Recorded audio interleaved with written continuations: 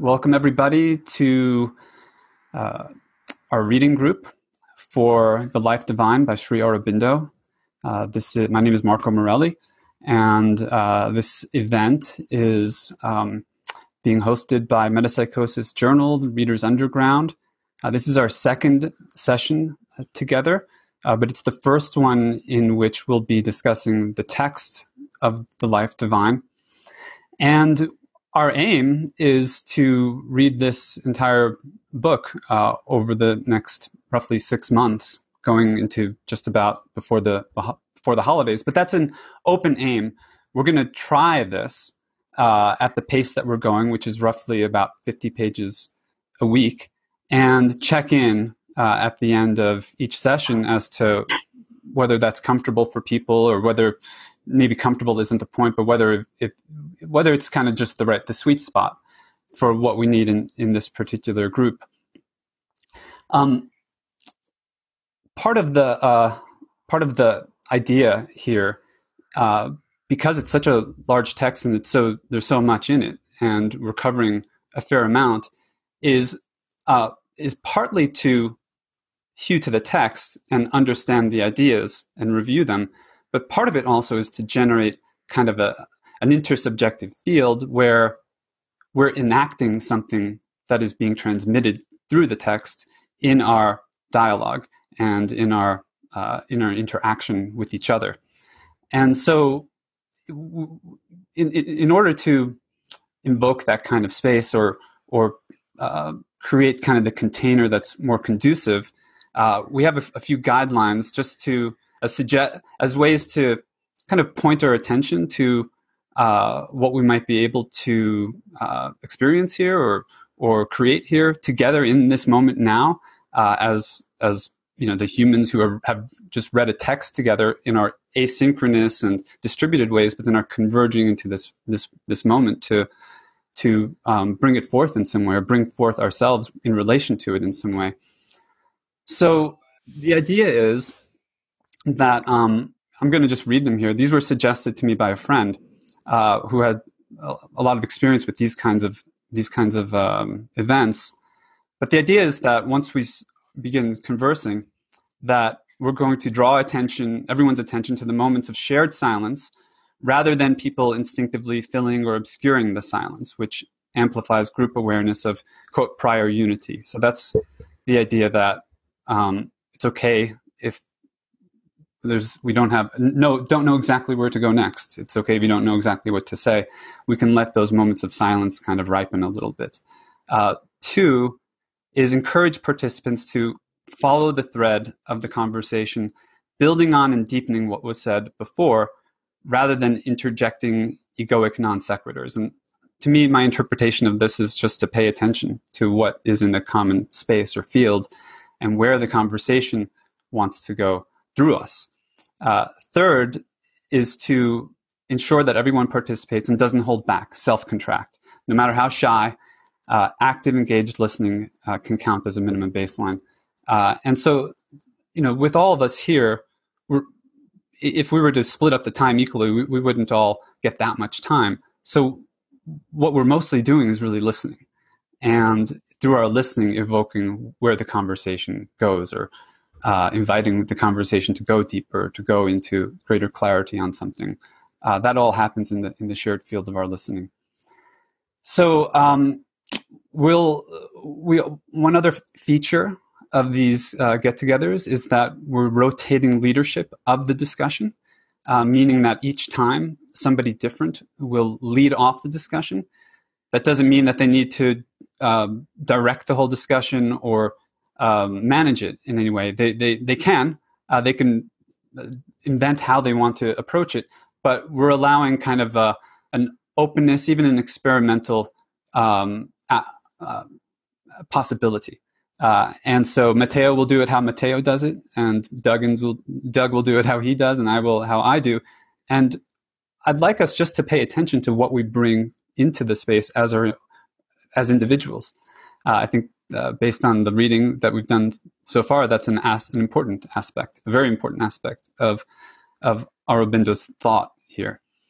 And um, Uh, last thing I'll say is that uh, I'm uh, well, two things. One, I'm grateful for you all being here. Uh, two, is that we have an interesting mix, and so this no, this deal about not self contracting, I think, is really important. We have scholars here, artists, scientists, poets, um, people who have been successful in business or have practiced business, people who are academics. There's a, there's a mix, and so I'm very interested myself in what comes out of the admixture of of different kinds of people uh, with diverse experiences sharing a reading experience together, but then you know experiencing in their own and in our own particular weird ways. Uh, that's personally something that I'm interested in, and in addition, I'm interested in learning what Aurobindo uh, had to say, and in uh, really exploring how that is of relevance to my life, to our shared reality, and to what's going on in the world right now. So that said, let's begin our meditation, and then uh, and then uh, Matteo will lead us off with the conversation. And Matteo, would you also like to time us? Great. And so uh, one other note, uh, just uh, with the muting, you'll you'll I'll let, leave that to you to self unmute whenever you, you want to talk and it's kind of awkward with the virtual space and everybody you know looking at little squares of it's not uh, organic in person so just listening for where the opening is um, and however it unfolds is is okay and it may be a little bit clumsy and uh, we'll just keep we'll just keep keep going with it all right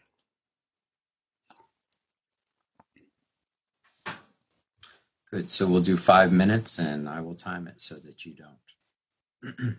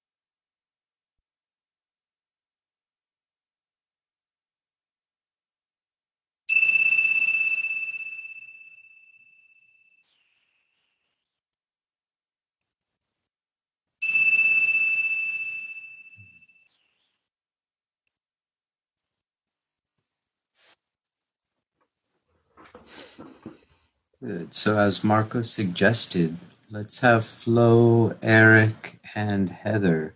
And Lauren didn't introduce herself last week either, so maybe those those four introduce yourself. Last week we said who we are, where we are, why we're interested in the text, whatever you care to share. I can introduce myself. My name is Eric Weiss. I've been um, studying Sri Aurobindo fairly intensively since the late 90s, um, mid, mid to late 90s.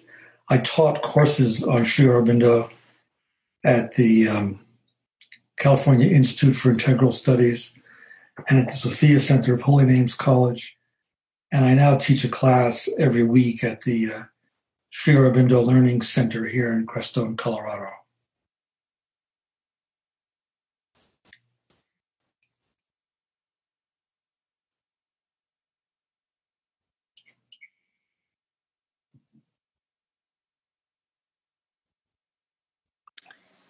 I'll introduce myself next. My name is Heather, and I'm currently living in Colorado Springs, Colorado. Um, I'm interested in this text primarily because I haven't read an Aurobindo text in full, and I've had a few experiences. I worked at California Institute of Integral Studies for almost two years, and um, met Matteo actually at the um, ashram at Lodi so I've been in the uh, interested in, but not able to devote time to this project so far.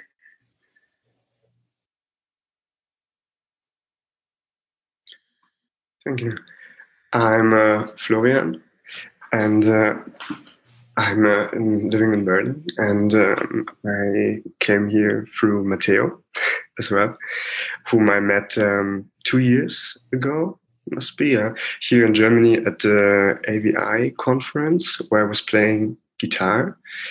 And um, yeah, I studied guitar. I teach guitar, classical um, guitar. So I'm a musician. And uh, yeah, you find me, would find me quite often at the um, Aurobindo Center in Berlin here as well.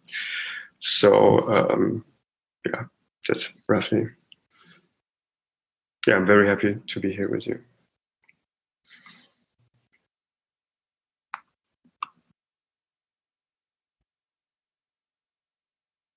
Hi, everybody.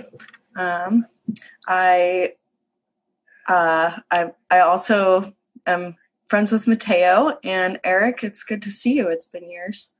Mm-hmm. Um, I took some of his classes at um, the California Institute of Integral Studies, and that's where I was introduced to Aurobindo and um, just fell in love with his philosophy as it completely spoke to me and my um, experience of the world. And uh, we read most of the book in your class, Eric, but I don't think we read the whole thing in entirety. Mm-hmm. So I'm really looking forward to reading it cover to cover and having another chance to discuss it with a group as well.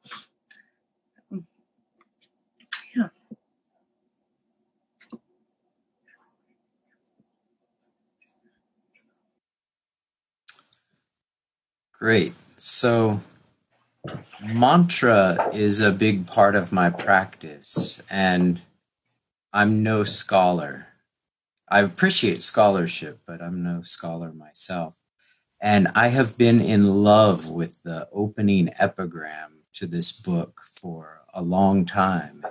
It's part of my practice. So I wanted to, in thinking how I would even start this off, I would like to start it off with chanting this mantra three times from a meditative state and see where that takes us. It seems like uh, it seems like that will be good with this group. Well, see. But I'm going to chant it three times and have meditative space before and after, and then start by uh, talking about why I love this this passage from Mandala 1 of the Rig Veda, written by Kutsa Angirasa as a hymn to divine dawn.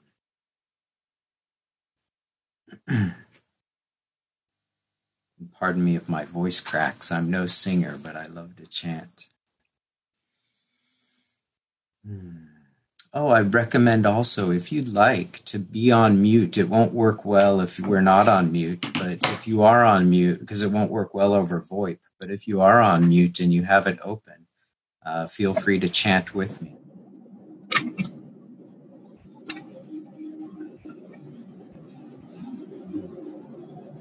Oh, before we start, John, would you, John introduced himself last time, but would you like to say something quick before I chant the first?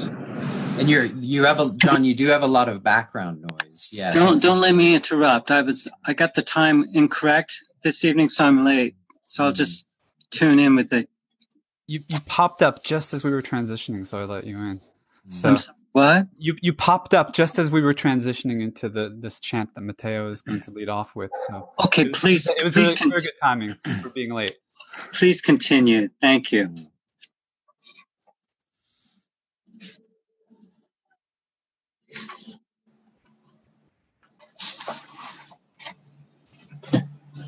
Could you meet John? Ah, good.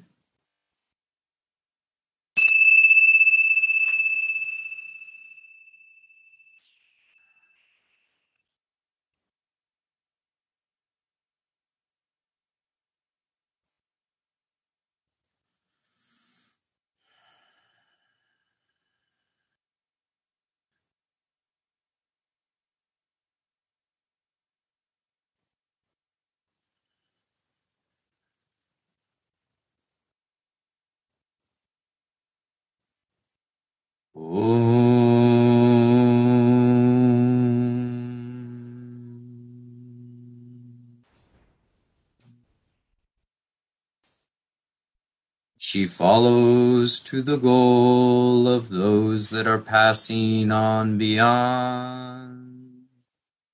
She is first in the eternal succession of dawns that are coming.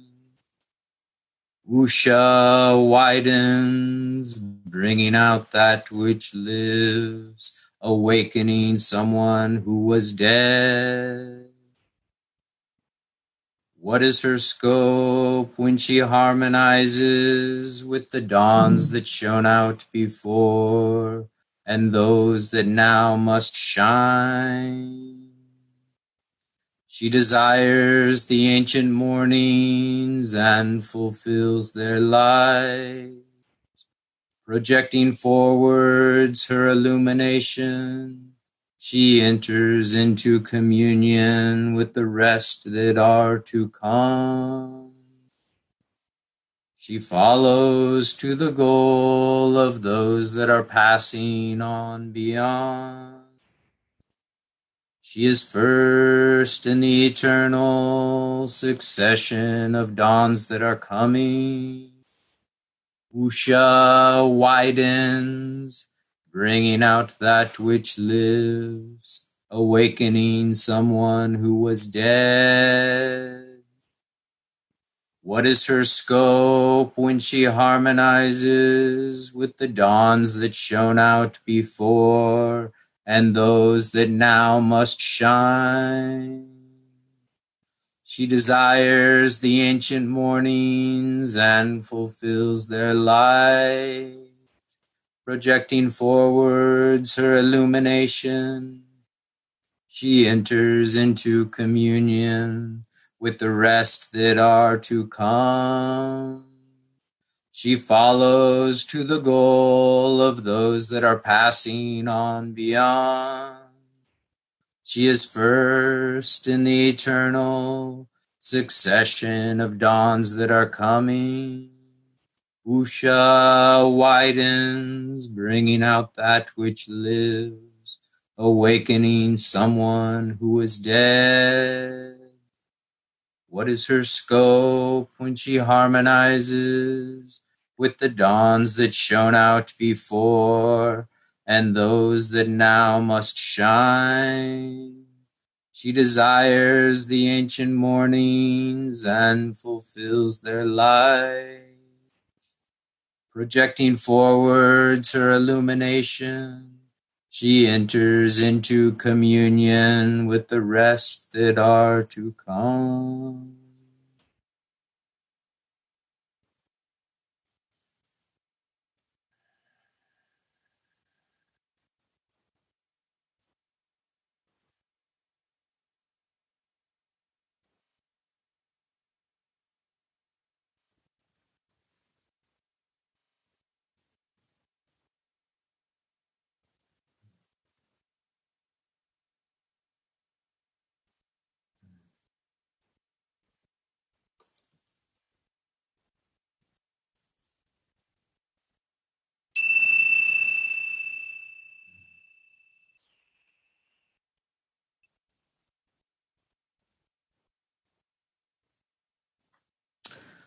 I love those verses of the Rig Veda. They uh, and I don't, I can't say why Sri Aurobindo started the Life Divine with those verses, but the chapter is the human aspiration, and he says over and over again that if you have a chance, sometimes I know that some of you know the author's note to Savitri, and in, in the author's note, that just right in the beginning, after the table of contents of Savitri, Sri Aurobindo talks about the gods, talks about the characters of Savitri, and he does this in secret of the Veda over and over again, talks about the gods not being mythological beings, but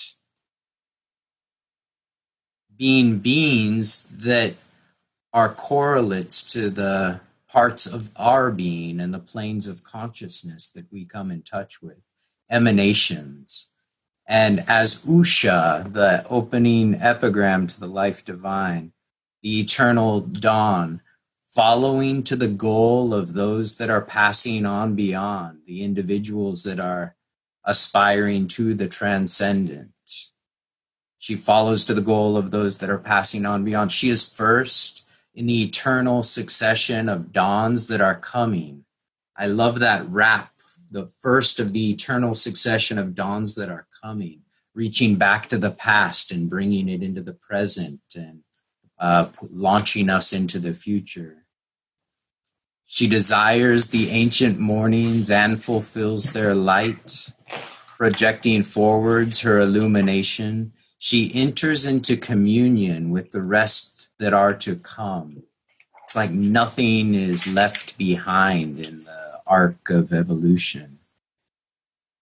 And that's that's what I'll share for now and open open the field up for discussion. I, I would also like to recommend that the mute be the way in which we communicate to our our uh, group here that we're done talking. And I just uh, in line with what Marco read, maybe take a couple of breaths before the next person unmutes to, to say something.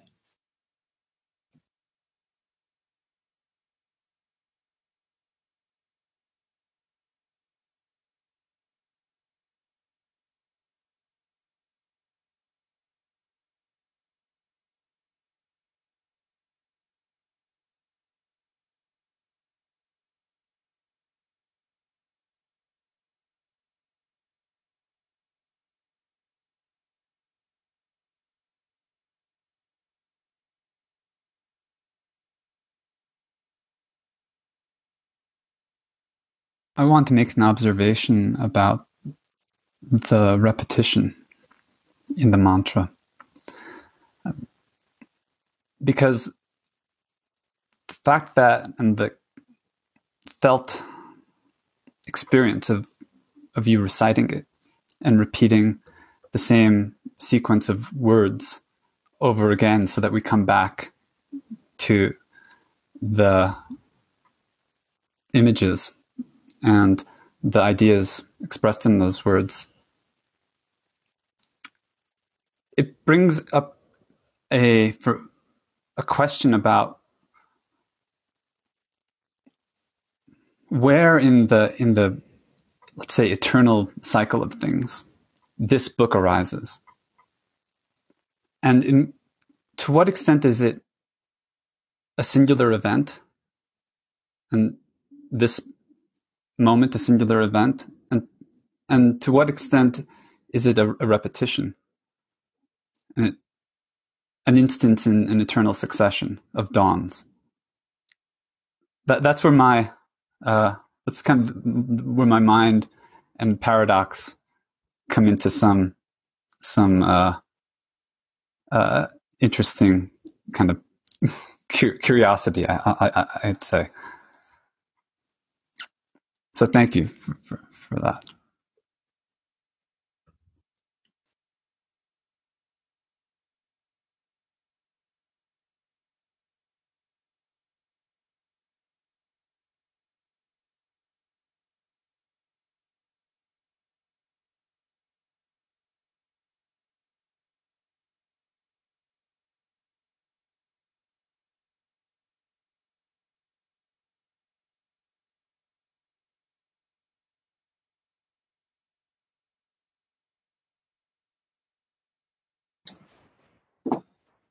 Uh, well, I'm a therapist, so maybe my mind just kind of works that way a little bit. But I found myself reflecting as you were chanting. I, I was aware of my son quite strongly, and um, a little bit of anxiety today around, you know, my being the best dad I can be, and how's he going to be um, growing up. But also just very aware of him um, and my love of him. That's what came up for me. So, thank you.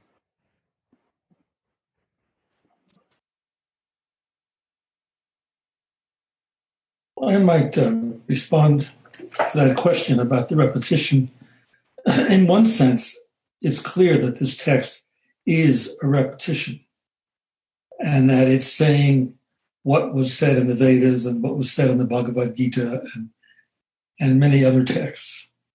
But on the other hand, there's a sense that Sri Aurobindo may be doing something novel, something new, when he talks about the idea of fully incarnating the divine in the material world.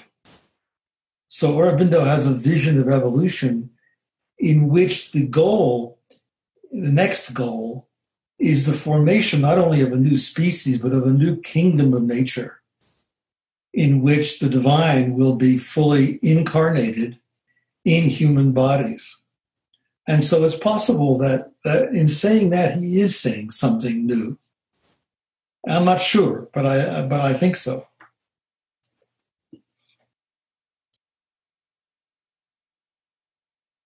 I would like to pick that up and add something.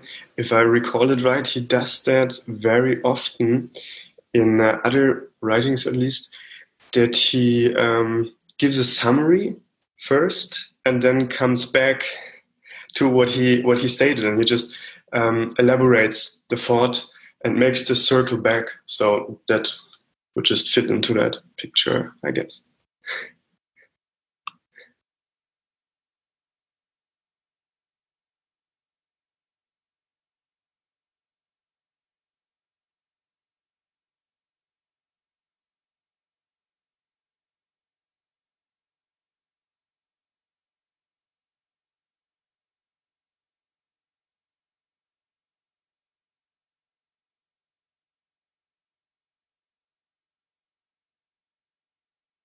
The idea that matter, all of co- the cosmos, would become divinized, infused with absolute consciousness, uh, remind, reminds me of uh, the singularity idea, the technological singularity idea, some of the ideas of, of Ray Kurzweil, uh, for example, uh, who believes that the you know exponential accelerating process of technological, informational, biotechnology, etc., uh, will ultimately result in an intelligence so powerful, so profound that it can, in effect, colonize the the entirety of uh, this Earth, then the solar system, and the galaxy and then and then the universe. It, it has that same tel- telos that same teleological uh,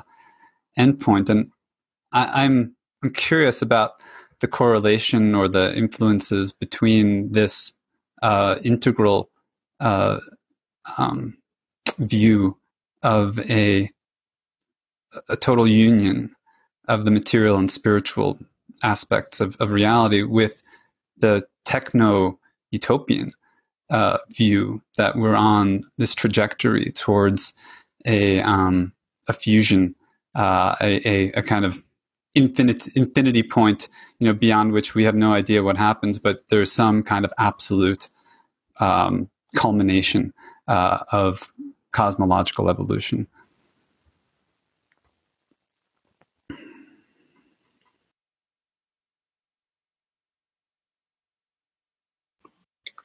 Sorry, I got so nervous speaking that I actually missed half of my uh, thought.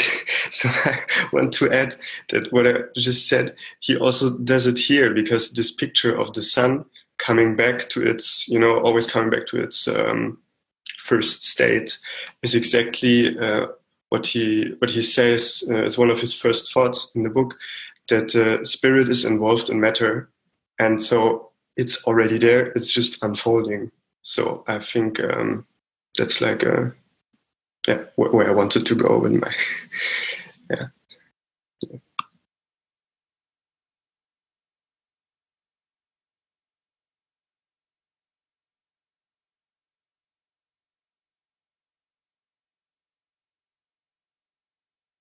So, um, so I I found this text um, I don't know quite how to say it, but I found the text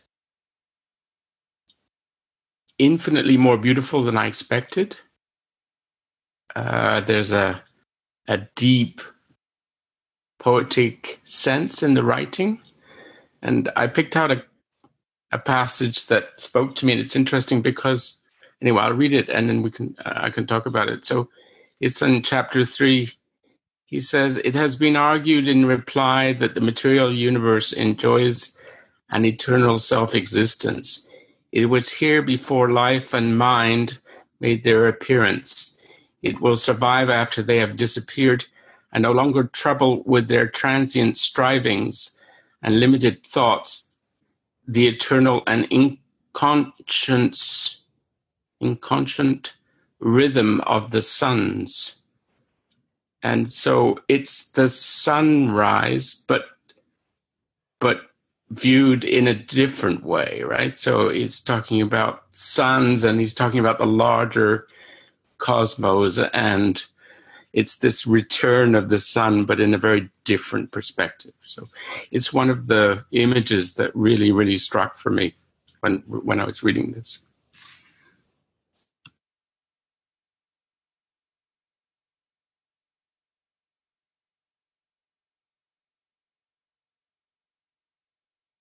Geoffrey, that only just reminded me of this really short work that Sri Aurobindo has. And if I get the title wrong, I can find it. It's like called The Seven Supramental Suns and links all these in with our chakras through the fi- from the finite base, the free base, all the way to the infinite. It's a really beautiful short work. Maybe I'll try to find it and link you all to it. One of the interesting things about the text is that Aurobindo will often lavish a lot of creativity on um, articulating positions he wants to contradict. And that's uh, the case with this passage that Geoffrey read. That uh, here he's saying it has been argued that the physical world is everything, and that it will it pre-exists and will continue to exist after the after the domain of life and mind but he's going to contradict that right afterward.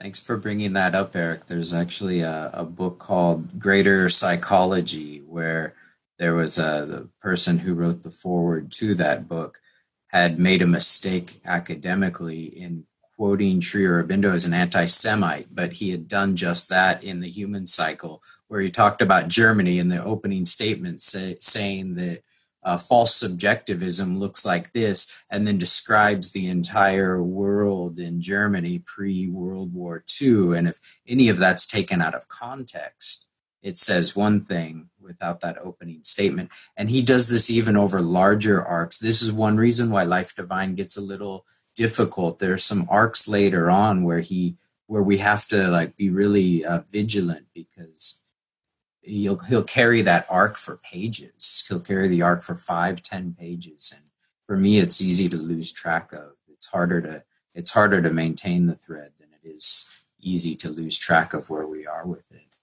Maybe we can help each other on those lines.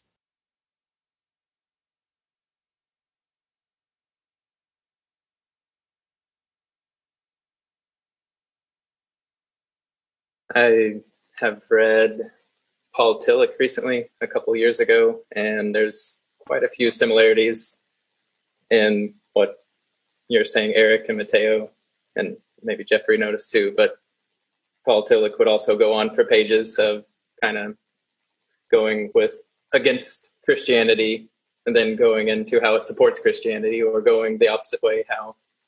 Um, but anyways, um, I'm seeing a lot of similarities there. And one of Tillich's ideas is the ultimate concern as well, which um, I had read most of the Life Divine about 10 years ago and picking up on Tillich two years ago, I, I realized why, now that I'm rereading The Life Divine, why there's so many connections because they both come from that, that same time period, the same um, maybe urgency that might have been felt in a certain sense.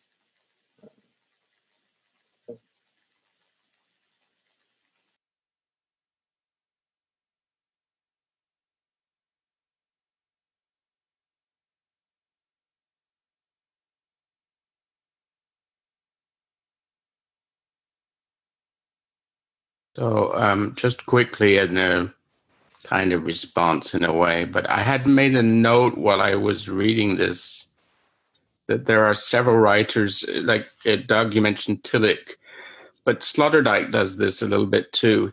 He starts an argument and then and he goes on for several pages and then you realize he's actually arguing the opposite and I was thinking about that, that there are different writers. Obviously, Aurobindo was writing earlier than these other writers. So maybe in a way, he was one of the first, I don't know, doing this kind of thing. But I'm wondering if that isn't, because it's a kind of a writing where you're aware of the paradoxes when you're writing. It's like you're arguing one side, but you're writing in such a way that your argument reflects the opposite side in the paradox as you're writing. And I'm wondering if that isn't a kind of current in emerging in, in, in the culture where people are beginning to write a bit more in a way that is conscious of the paradoxes and not just presenting one argument independent of the paradoxes that sit behind it. So, I mean, certainly one sees this throughout Aurobindo's writing, but I think it may be a wider phenomenon in the culture and not just Aurobindo. Anyway, it was a reflection that I had while I was reading it.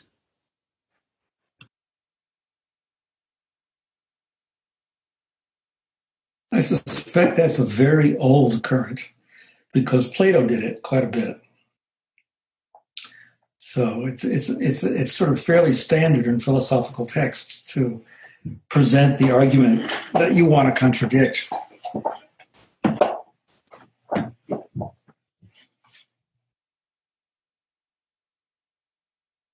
Although I wouldn't say myself that he contradicts. What's beautiful, I think, about this text and what where it might be distinct, where I think it transcends irony, is that he affirms. He affirms the materialist position. He affirms the idealist or the spiritualist or the ascetic uh, position, but then he wants to include them in a wider affirmation and to me, what's what's really beautiful is the the clarity, I think, and the, the breadth breadth of that affirmation.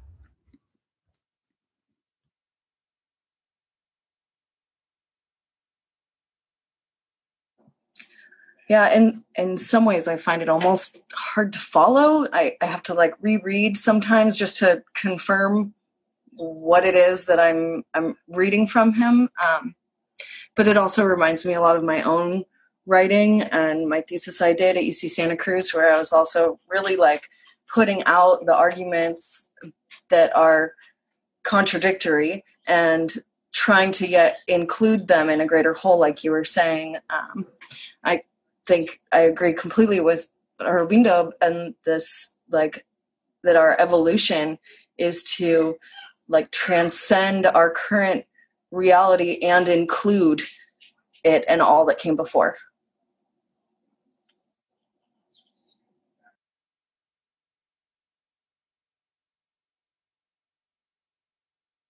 On a logistical note, did you all get the outline that I sent by Dave Hutchinson? I haven't gotten through the learning curve of figuring out the the uh, web forum, so I think Marco reposted it somewhere.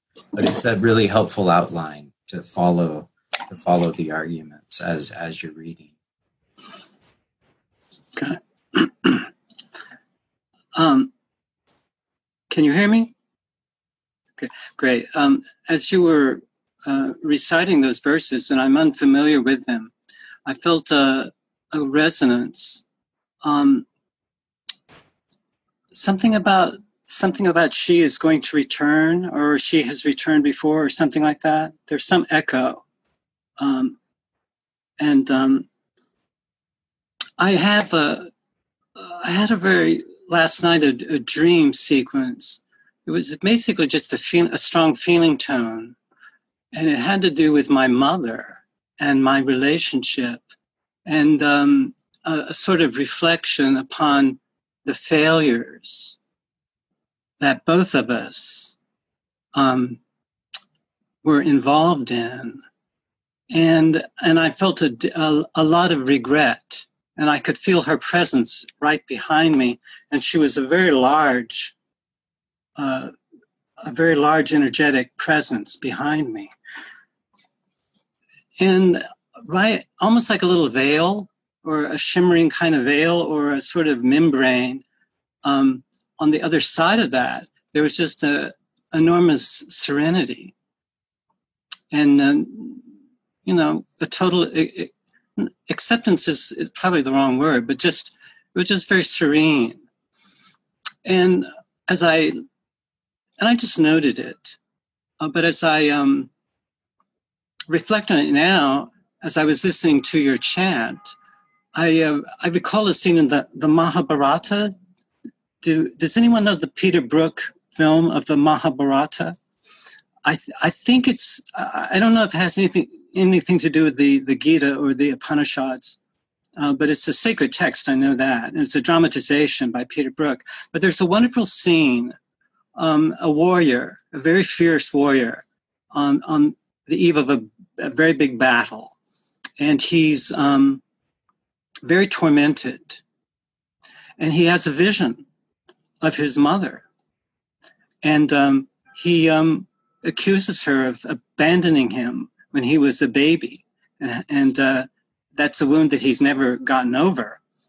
And uh, there's a beautiful dialogue between the mother and the son and the mother says to him, finally, she says, You know, I gave birth to you. I loved you. I, I've always loved you.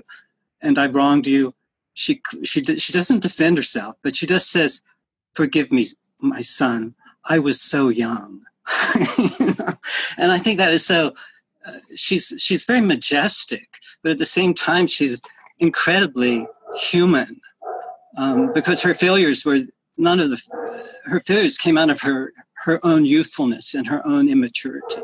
But I just sense that in this subtle experience, uh, as I recall that as I was listening to that chant, I think there's this isn't the first time a mother and son have had problems, you know. So whatever regrets I have about my mother and her behavior towards me or my behavior towards her, I feel like there is a an aspect of that that's just, you know, human and unavoidable and extremely messy. And then there's also that serenity so um, that's what's coming up for me now, and it's sort of one of my expectations actually for reading this book was that some of those schisms, um, I could get some, you know, I could I could feel this transmission from this text, so that some of this could have not just an intellectual excitement of reading something, you know, really well said, but of uh, resonating with these sort of like archetypal patterns, because that's how I sense it now. That this is something that I can I can hold it in a way that isn't um, going to re-traumatize me or anyone else. so thank you for let, letting me uh, articulate this in public. Thanks.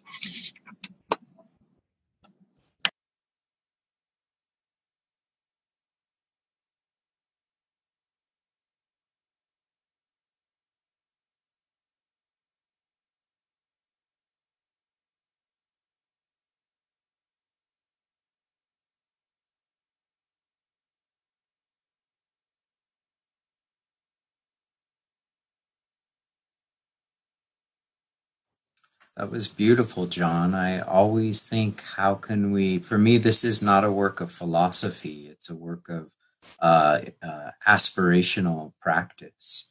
And I always love asking, how can we use something like this? I feel like it's bathing in consciousness and it's filled with process and guideposts on the way. And thank you, John. Beautiful share. I, I back to the text. I really appreciated the the materialist denial and the refusal of the ascetic. I love how the materialist the the materialist denial is actually an argument to the ascetic of why to accept materialism, and the refusal of the ascetic is an argument to the materialists of why not to, why why to accept the world of the transcendent. It's it's like there's uh, waves running through this that are al- almost exact reflections of its opposite, and then emerging into the reality omnipresent and situating our own. Uh, in Sri Aurobindo never lets go of the individual. The work of the individual is extremely important. He says in the first chapter something, unless a revolutionary individual effort is made, or if nature is able to speed up. This isn't he's, i'm paraphrasing but he says this isn't going to happen unless one of those two things clicks. And uh, he he it's like he's always toggling between the between soul nature and god. That triad is almost uh, running through all of this and is uh, something that i'm uh, t- aspiring to hold as i have another pass through this through this amazing work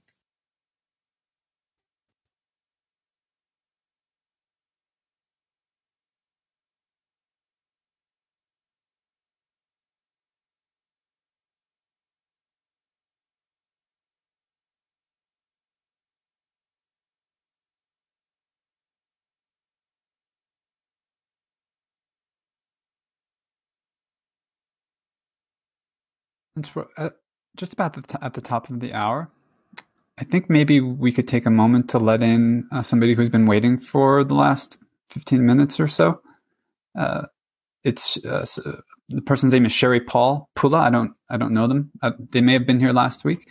Uh, so I'll let them in, and perhaps in, they could introduce themselves, and uh, we could go into a second round of of this kind of discussion, or whatever you would like to do, um, Matteo. Does that sound okay? Okay.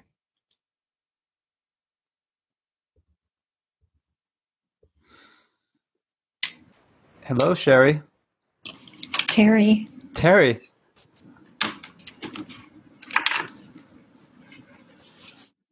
Terri O'Fallon? Yes. Hi. How are you? All right. Glad you could join us. I'm sorry I'm late. I thought I'd sit here until it was over and hoping somebody might see me. I saw you, and uh, when we got to the, this moment, kind of top of the hour, I thought, well, let's let, let, you in. But I didn't know it was you. I thought it was somebody named Sherry. Unless that's what you call yourself. No, no. Um, I've got somebody else's name that keeps popping up on. You just muted out, Terri. That's the wrong thing here.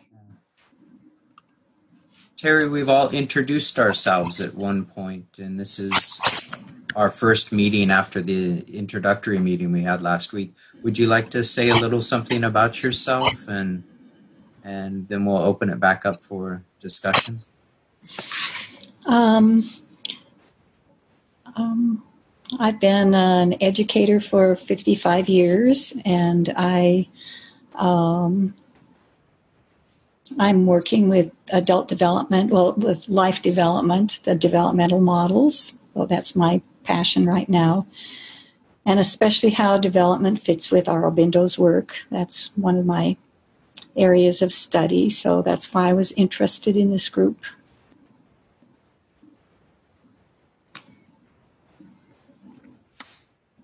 Well, just to catch you up um, on what we've done, we began with a, a meditation.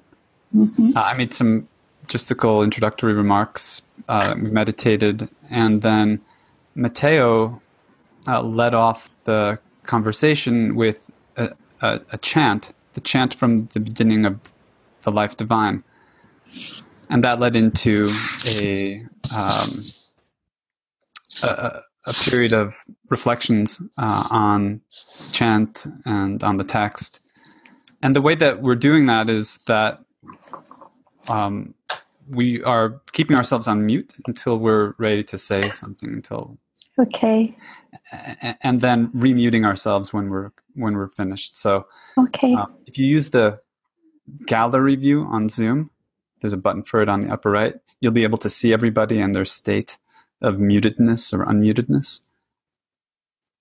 Okay.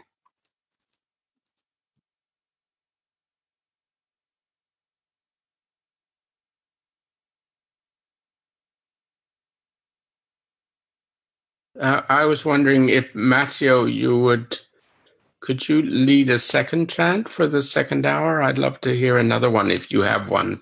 Sure. It would be the second chant. It sure, would be the second epigram.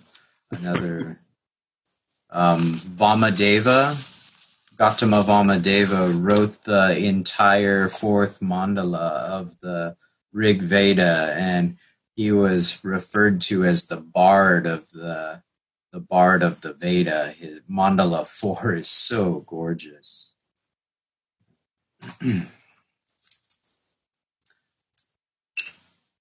I'll chant it twice.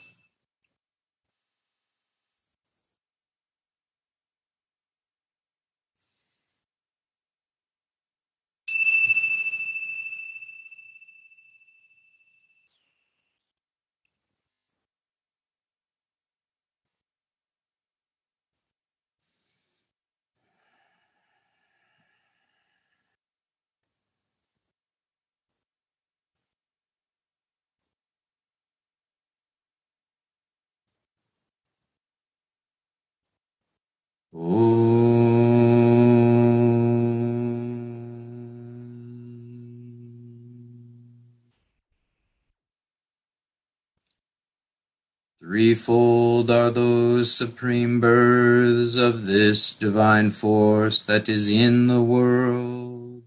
They are true, they are desirable.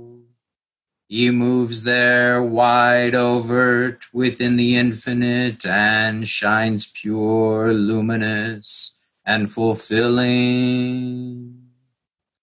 That which is immortal in mortals and possessed of the truth is a God and established inwardly as an energy working out in our divine power Become high uplifted, O strength, pierce all veils, manifest in us the things of the Godhead. Threefold are those supreme births of this divine force that is in the world. They are true, they are desirable he moves there wide overt within the infinite and shines pure, luminous, and fulfilling. That which is immortal in mortals and possessed of the truth is a God and established inwardly as an energy working out in our divine powers. Become high uplifted O strength, pierce all veils, manifest in us the things of the Godhead.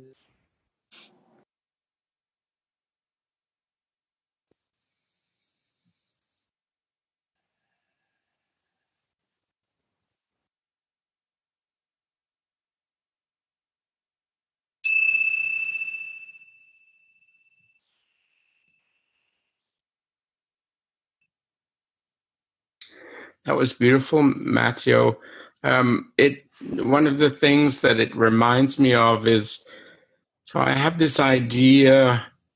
Anyway, it's it's kind of without going into a long story about it. I'm writing a big novel, and it's got a lot of um, uh, religious themes or spiritual themes in it. And one of the it's science fiction. It takes place in the future, and one of the things I was struggling with was in a distant future what would an integral religion look like? And so one of the things that one of the mechanisms i came up for that was the idea that from god's perspective everything is integrated. It's from humans perspective that things get divided up. But from god's perspective all those different efforts are the same pointing to the same thing so I get a sense from that reading Aurobindo. It's like when he talks about the Brahman, and I, I recognize that this is related to earlier writings by other people about the Brahman, but so I'm, I'm, I'm not saying it's unique to Aurobindo, but I do get this sense that he views the Brahman and this as a kind of let's look back at humans from that point of view rather than let's be human and look forward. Uh, I get that sense from reading it. And I think it's an, a kind of an interesting perspective. So, and this and this uh, chant brought me to that same place uh, in in hearing it again. So.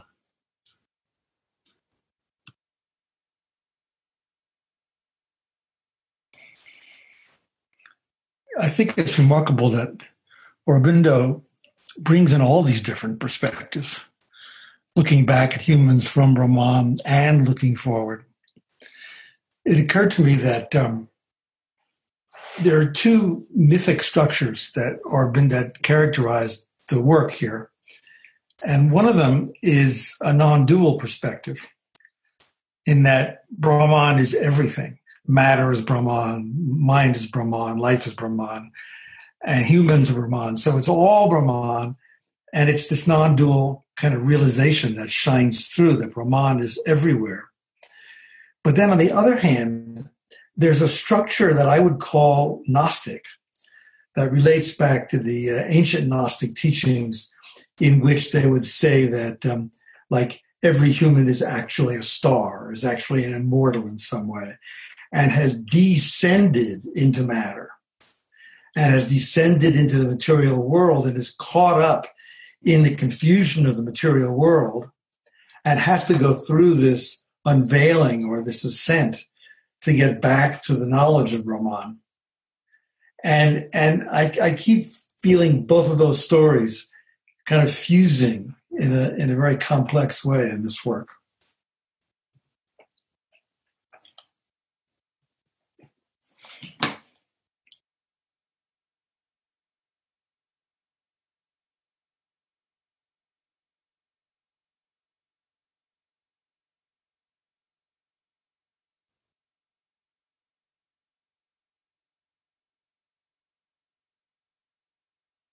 Might be a moment to reconstruct the architecture of Aurobindo's arguments so far, because in the first five chapters, we go from the human aspiration to his uh, recapitulation of these ex- two extreme perspectives on reality the materialist, the idealist.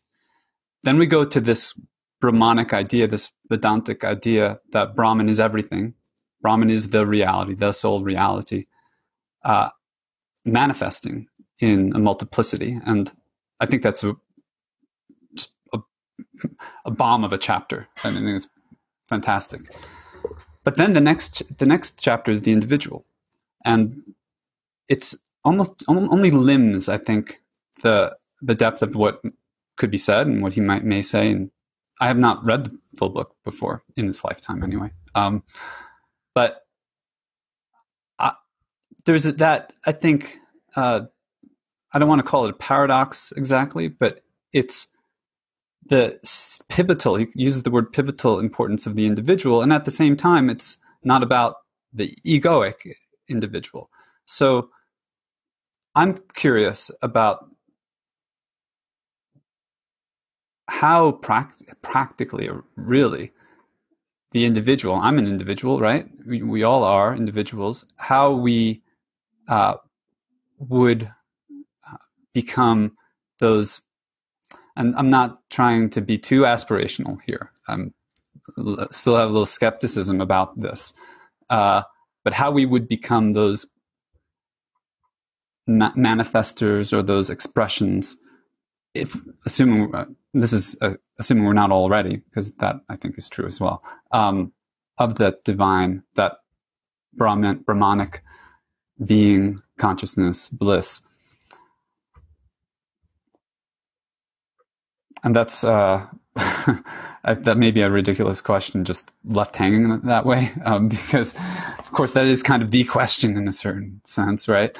Um, so, so I, I, don't want to. Um, well, it, it, it's the question, but it's also one that has to be renewed, perhaps, and that's important to renew and re-energize. Uh, and I'm glad that this philosophy provides some way of thinking about it.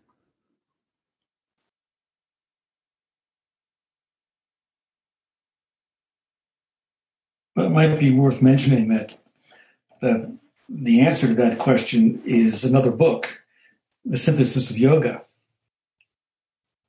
And uh, so he, you know, for one thing, Aurobindo carries on this idea of the individual, and and it's really helpful, I think, intellectually and psychologically because we feel like individuals.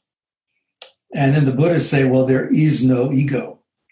And that's very confusing because there's a tendency to identify the ego with the individual. And what Aurobindo is saying is that the divine individual can be manifesting as an ego or not manifesting as an ego.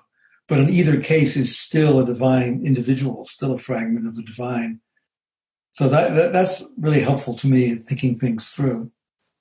And then in uh, in synthesis of yoga, Aurobindo goes very elaborately through hundreds and hundreds of pages about how we overcome the ego. And he talks about the soul within us as manifesting in uh, the true, the good, and the beautiful, and how the different yogas involve the cultivation of the true, the good, and the beautiful to the point at which the divine can emerge, the, the hidden divine within us can emerge and, as it were, take over. But that's that's a huge discussion, as you point out.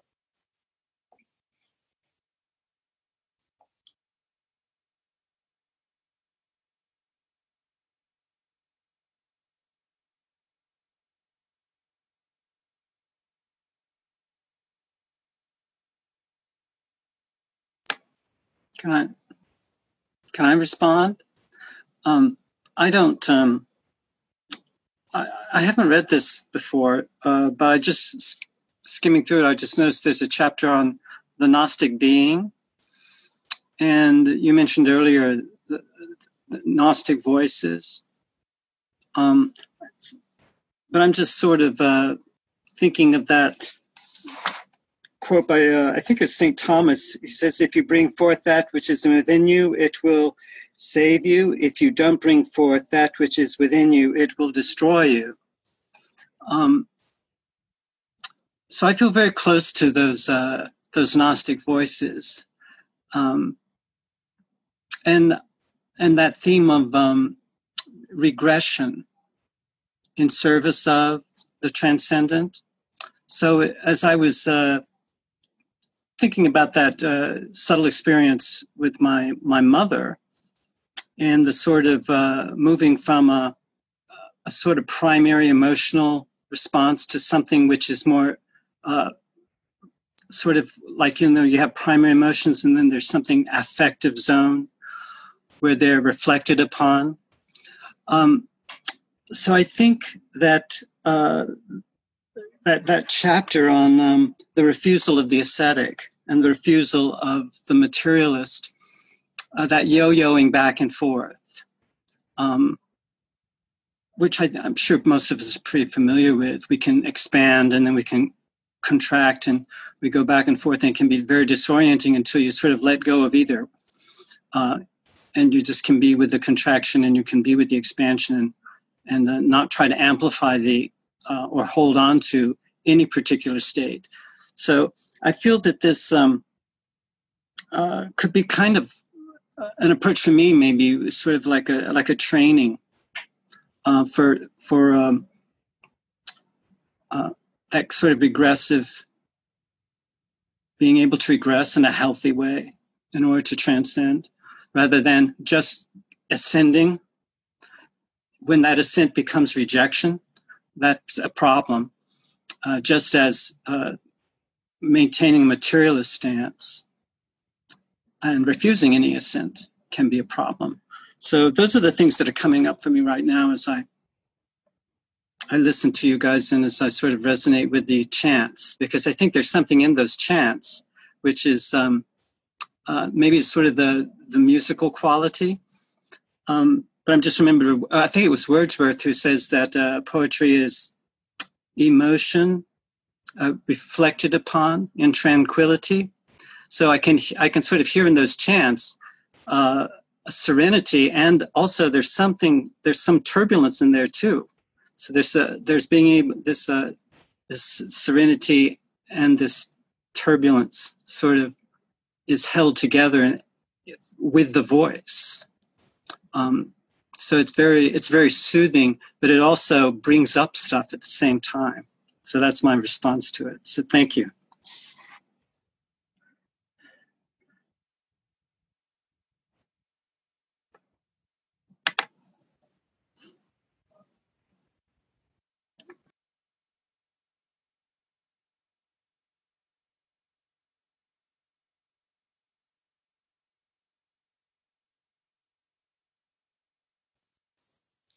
the second to the last chapter, The Gnostic Being, answers your question in detail, Marco. It's beautiful that John pulled that out and linked it.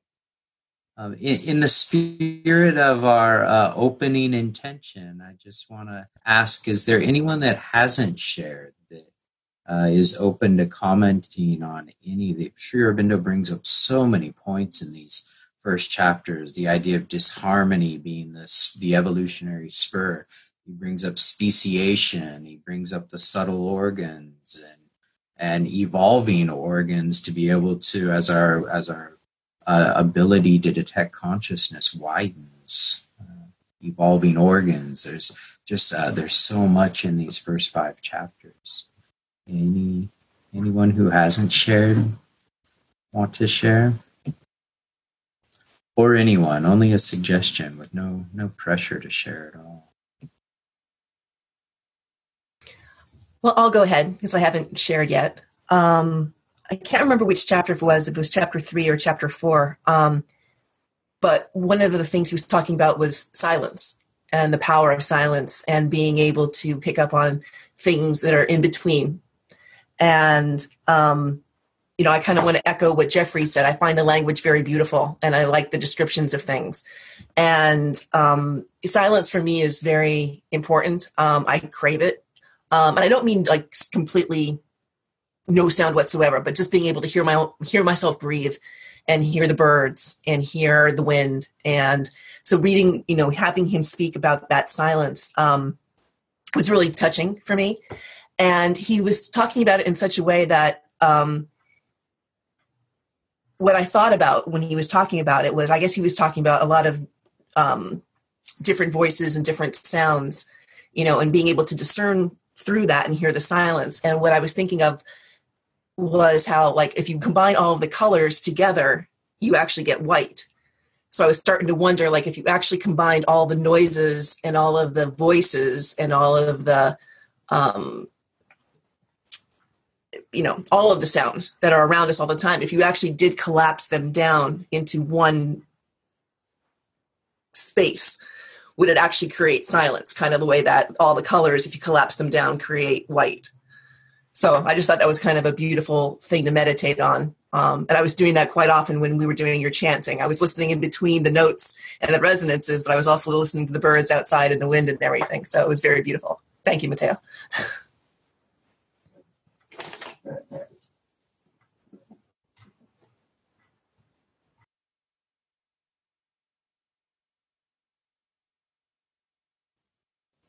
think he says that silence with a capital S is the highest reach of mental consciousness. And I know we're going to get there. I know it's in the future. A lot of the writing that he does, he wants us to differentiate between physical consciousness, vital consciousness, and mental consciousness. And uh, I think Eric will, can talk at length about synthesis of yoga and the admixture of these three conscious, consciousnesses being an evolutionary spur and also being a big part of human distortion and uh, how we're misperceiving things. In these first chapters, I would uh, say he brings up a lot about kind of confusing and trying to set straight the difference between the logic of the finite and the logic of the infinite. He's not saying it directly in these first five chapters, but it's coming up as he's toggling us back and forth.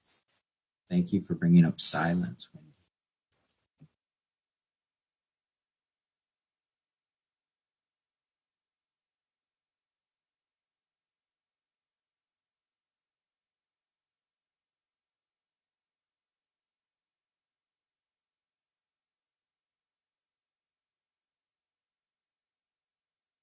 There's a relationship, I believe, between that silence and one aspect or one well, one aspect of re- reality, the Brahmanic reality, that I think he clarifies in these pages, and that's in that's in that uh, I, that idea that, or not just idea, that experience that beyond all phenomenal forms, there is a vast n- nothing. There's a vast sort of. Uh, this is where the ascetic path leads is to uh, cessation uh, to a um, a non-being, uh, and I think that the, perhaps there are a couple of different expressions of that. Like there's the nihil of nihilism, where the nothing is seen as pure uh, deadness in a, in a sense. Uh, he doesn't use that word, but there's the nihil that is the the freedom aspect. This is this is how he characterizes it. That that cannot be constrained or refuses to be constrained by any form, any particular idea, any however subtle, however abstract. There's the, always an excess of more than, and that the nihil, and even perhaps the silence that allows access to that uh, freedom dimension uh, is uh, is not to be uh, it's a mistake i guess. You know it's a it's a ignorant perception to see it as deadness to see it as separate from the active brahman the expressive brahman that manifests as the forms the noises the birds the train behind me uh, and you know this all technology stuff that's going on here. Um, so I, I found that helpful uh, actually and part of something I've reflected on, been reflecting on quite a bit. Doug has also mentioned this theory of nothing. And is there a, a affirmative, a sort of I wrote a book of poems once called The Joy of Nihilism. and I was trying to get at that idea that nothing can be positive. Nothing is, it, it can't be reduced to any thing, any idea, even if any totality, nothing. that's that's what's beautiful about it, uh, and it actually is generative if you allow it to be. But once you turn it into a thing, obviously it ceases to be what it is, and not just logically, but even in our our um, trans our, our let's say con- conduct con- conduct of it. There's the train. So thank you, uh, Wendy, for uh, bringing attention to, to that and to the theory of nothing uh, that we may be developing.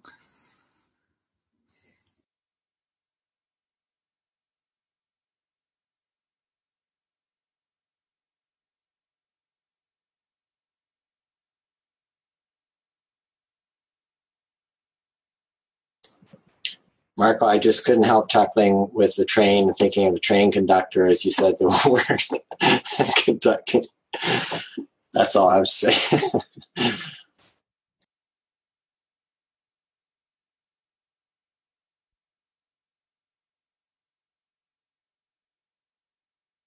Everyone, that was my hand gesture. Of course, I don't think trains today have any pull levers on them. It'd probably be something like this it's not quite as interesting to talk, um, to do that.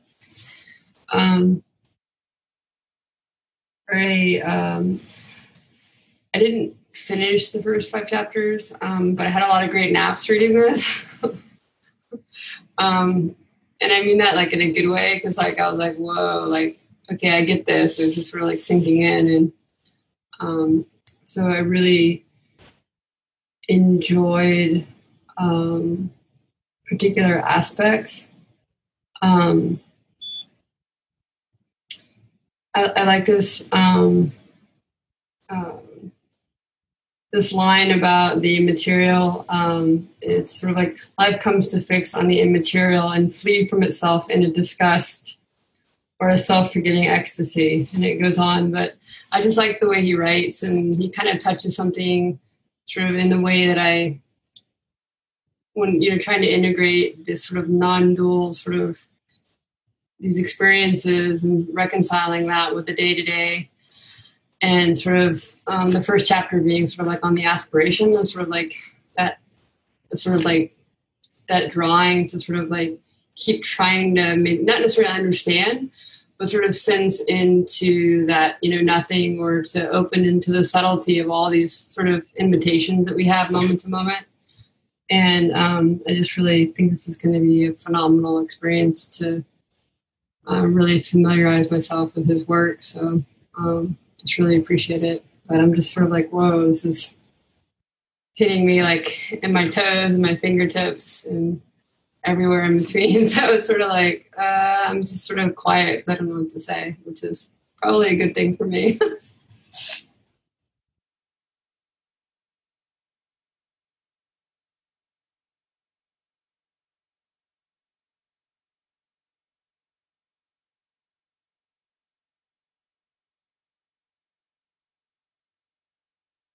I I totally agree with you.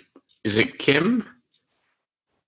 Um, so when I was reading this, uh, had to break off every two three pages and go away for a while and have a nap or so I wasn't even sure I was going to make it because early this afternoon I was still had three chapters to go and I thought oh my god I'm never going to make it but they went faster at that point so I actually did did did do all right with it. But uh, but I I'm like you. I like the the language speaks to me about these um, subtleties, I guess, of the the dialogue. So I had a second quote that I picked out, but it's related to what you were saying. So the other quote was in the psychology of the East. It, it has always been recognized as a reality and the aim of our subjective process. The essence of the passage over to this goal is the exceeding of the limits imposed on us by the ego sense, and at least a partaking, at most an identification with the self knowledge which broods secret in all life and in all that seems to us inanimate. Uh, that line inhabits me. You know, it again, it's just a single line in the whole thing, and it's only a partial thought in the larger thought but i find it's those echoes that that remain with me from the text as well as the larger feeling but i i, I focus in on those particular resonances and it's like you say they're how do we integrate these into our daily lives? So.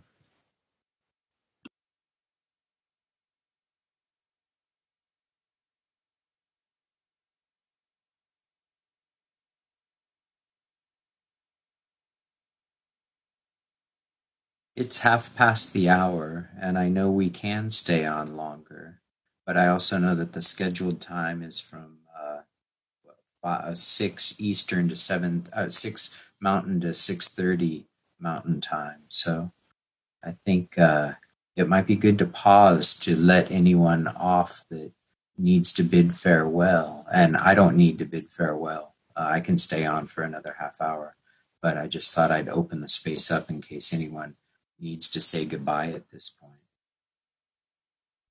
Yeah, I'm, I'm still recovering from my health crisis, and I think we'll uh, hang up this time. Beautiful to see you, Eric. Yeah. Let's chat soon. Yeah. Yeah.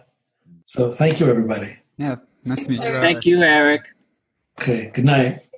Good night.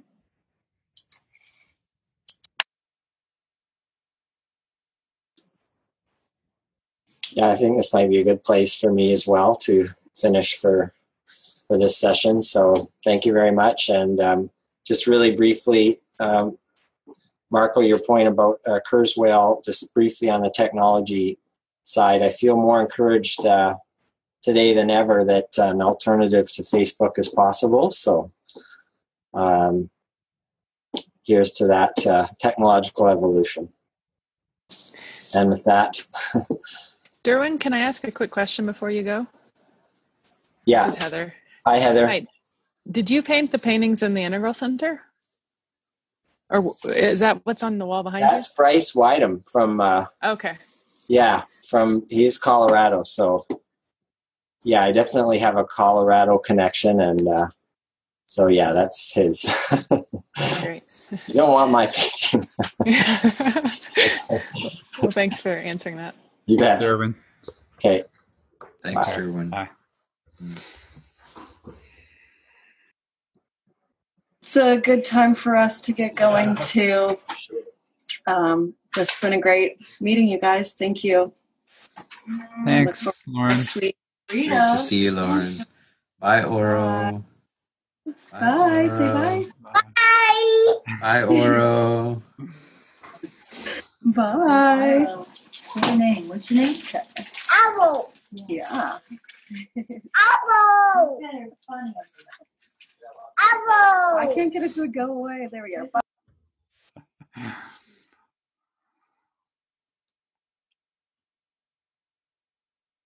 I was really curious, Matteo, when you were talking about the subtle organs. Um, what is that? Oh, he refers to them in Sanskrit. There's one uh, note in the in human aspiration where he talks about developing these subtle organs or developing other organs. I don't have the passage marked. Um, it's not just jumping off the page. But then in a further chapter, I can find it a lot quicker because there's a footnote with the Sanskrit. Shoo- Okay, here, yeah, the the refusal of the ascetic. Sukha, uh, page 21, well, uh, uh, uh, chapter 3, uh, the second page of chapter 3. Sukshma indriya, subtle organs existing in the subtle body, sukshma deha. And then he also makes reference to these in the next chapter, too. He doesn't mention them by Sanskrit name, but he talks about development of the subtle organs in um, either sorry in either reality or omnipresent. Oh no no yeah on rea- um, the second page of reality omnipresent uh, paragraph two. Um, he, matter reveals itself to the realizing thought and to the subtilized senses. Oh my goodness, Kim and everyone, like uh, getting into Sri Aurobindo's cosmology. I mean, uh, it's it's it's incredibly vast. The details that he has left us with uh, parts of being and the planes of consciousness. Um, I'm barely into it, and and I've been working with it for 15 years. It's uh, yeah, it's it's it's pretty vast, but there's all these little tiny there's all these little tiny bits along the way. And I think in these first five chapters, there's probably about three or four mentions of the subtilized organs, and there he does name them by name them by name. There's also I can send out a reference. There's a um, there's a book that's available online, the Sanskrit anyway, glossary of terms in Sri Aurobindo's writing, and there's a Sanskrit section that uh, exists on a web page called uh, Oroma no, no, no. I'm sorry. That's a different web page. Exists on a web page called Miraura. Miraura, probably miraura.org, miraura.com.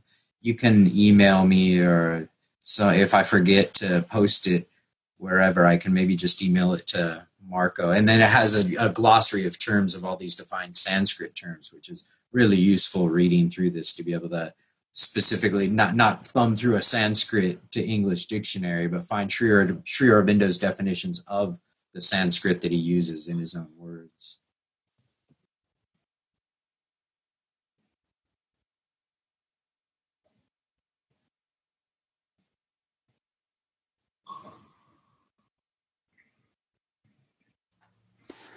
I would like to ask a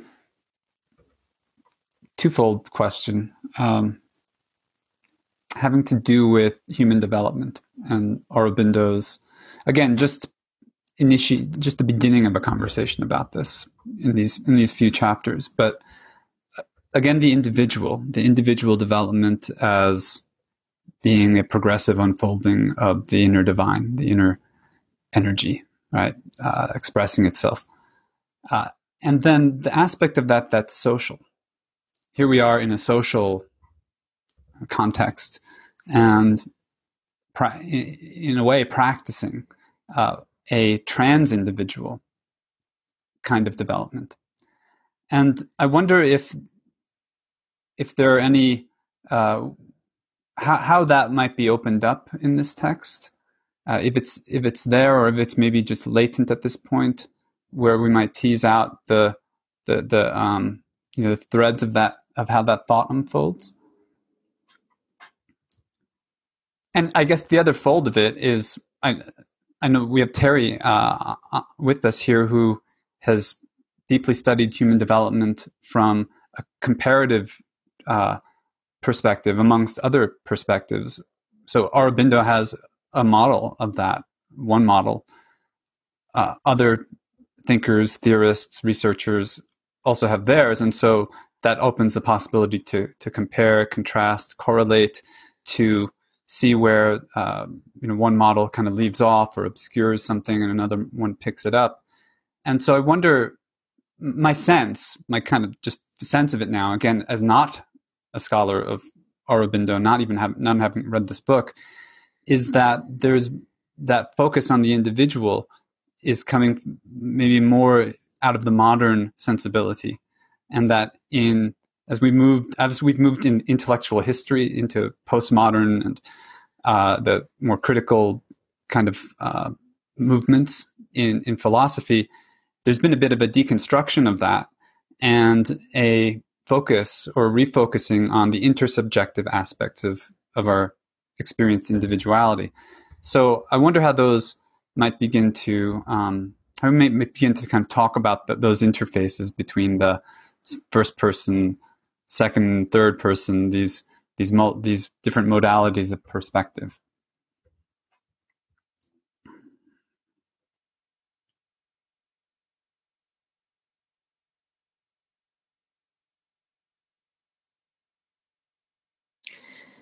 Well, I'm here really a little bit more to learn than I am to to you know say that I know much about this because the more I study it, the less I know, of course. Um, the work that I've done in conjunction with checking to see how it fits with Aurobindo's work, which has been a great guide for me. I haven't even begun to touch the surface of what he works with. But to me, intersubjectivity is not individual. In its reciprocity, and reciprocity is with other people or with a context, so that's a collective notion. And we had these repeating patterns um,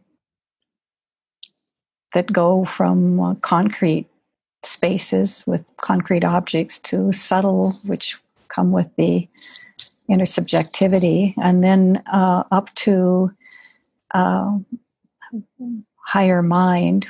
These are each upshifts with each other, and the higher mind is is uh, the developmental level that we score at 6.0, the sixth person perspective, and as a collective frame for a kind of a beginning ocean and waves sort of process. So the way that I've used Aurobindo, uh, and I know I don't understand him perfectly, is to to do the research, develop the descriptions from the hundreds of people that have taken the inventories, and then I go back to Aurobindo's work and and look at his stages and see where is there any connection to what I'm finding and does it relate to what he is saying? And I found it to be exceedingly supportive and, and eye opening to uh, to look from both these angles, from just what human beings say when they get to a sixth person perspective, and then to look at what, what Aurobindo says when he gets to the very earliest of his spiritual stages, which is higher mind, then he goes to illumined mind, then intuitive mind, then uh, overmind, and supermind. And uh, so, um, so I, uh, you know, because I'm just one person, I'm always so interested in hearing what other people think about this. And frankly, there's not a lot of people that really read our Aurobindo that much, you know. So, so I'm just grateful that I have a community of people here that that discuss it because you know when you read by yourself, you only get one small part of what you can understand. And so I love having the opportunity to sit in the community of people who are reading his his great work and you know there aren't very many people there there really aren't any there's no other go-to that i have found that develops the which works with the developmental side of the of the states and stages coin, but Aurobindo. He's the only go to I know that goes late enough to really uh, have somebody that you can compare at these very late stages. You know, there's the state stages and then there's the structure stages, and he has, seems to have both. And um, that's one of the reasons I respect him so much. So, thank you for letting me sit in on this and letting me come in late. just a just a note on state stages, structure stages. That distinction comes through Will, Ken Wilber. Yeah. Correct. Yeah. And, and he's proposing a um, a particular model, the, the AQAL model. This is for not everyone here has uh, read Wilber uh, or um, is totally familiar with integral philosophy. So just to clarify that, the structure stages are these, uh, let's say, developments in multiple lines that result in more or less stable patterns, right? That, or at least pattern possibilities uh, in cognition or affect or other um, modes, aspects of development. The state uh, stages, as Wilber defines them, have to do not with a vertical uh, uh, development of more or less enduring, more or less stable structures, but the access to uh, progressively more subtle until unto until very very subtle or what he calls causal states of consciousness that can occur at any of the in his his theory any of the mm-hmm. structures. Yeah. So uh, Aurobindo did not use that, as far as I'm aware, insofar as Wilber claimed to have invented it didn't use that distinction, but no. you see it there. No, he didn't use that distinction, but uh, he he talks with the develop about the you know distinct developmental um, trajectory. Um, even in from the beginning of from the very beginning of his model, you know, matter before there was any life, matter than life, and then matter and life before there was any mind, and then matter, life, and mind. There's that trajectory. That then there's, you know, his. Uh, uh, uh, the body tra- trajectories, including the vital, and then he goes to the psychic, and then on up to um, you know these later developmental levels. But the he interpenetrates the the developmental stages with the with the spiritual aspect, and um, I'm not working with lines in mine either, uh, but he, he has he works with the ego all the way through his frame, what Aurobindo does. And uh, I work with the ego development model, so it, it seems like it's congruent that way. And um, uh, so uh, the thing about Aurobindo is that it's kind of like an autobiography for him. I mean, he experienced these things and wrote them down, and and um, so it's it's a uh, uh, you know a an experiential uh, description that he's that he's got. I think. And when we work with the developmental levels, we work with experience too. So uh, we don't have too many philosophers that I've found that, that move into these very later stages like that. So um, yeah, um, I wasn't really referring to Ken so much, although I've read his work and I've, I've worked a lot with his material. But uh, Ken really re- relies a lot on Aurobindo too, in my opinion, and he might add some flavors here and there. But from my perspective, you know that a lot of Ken's work is is based on Aurobindo as well, uh, because he is the go-to from my perspective. So, yeah, I think he's somebody that many of us look towards for for the, the development or for a comparison uh, because he is so well spoken and so deep in so many areas. Take, for instance, active and passive. He has, you know, the active and passive, the active and static. He has all kinds of things that, that I find in, in the work that I do you look for it and there you find it in Aurobindo, you know, and may not mean much to other people, but it means a lot to me in my work because there it is and it's in my model, my work too, my research. So, so it gives me a hint that I might might be having something that is on the right track. So thank you so much for listening.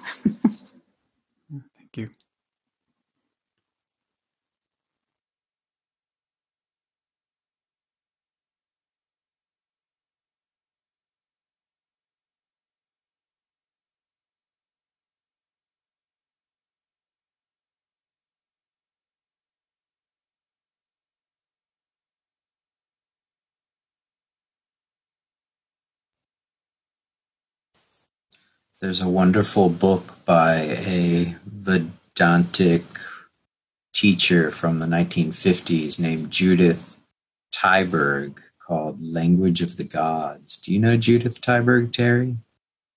No. Uh, she, uh, the language of the gods is a is a help for understanding Sanskrit in spiritual writings. And as you're talking about passive and active, it's like so obviously comes from the ancient texts. All of this is uh, is uh, rich in Sanskrit, and it's it's a beautiful expansion on, on uh, English. Like I think of the that cliche that how many words for snow does do the Inuit have? Well, Sanskrit has.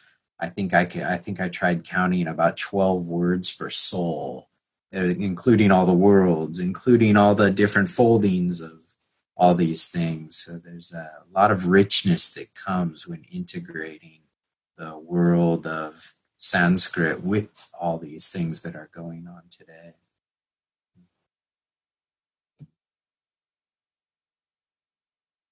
Judith Tyberg is really special. You have a chance because she was teaching at a time when there weren't any there weren't females in academia and there she was this glowing light. Her spiritual name was jyoti priya. And uh, wow she was amazing. I think she came of age she was like she doing symposia on Sri Aurobindo in the 19 with Haridas Chaudhuri in the 19 in the 1950s probably in the 40s and 50s.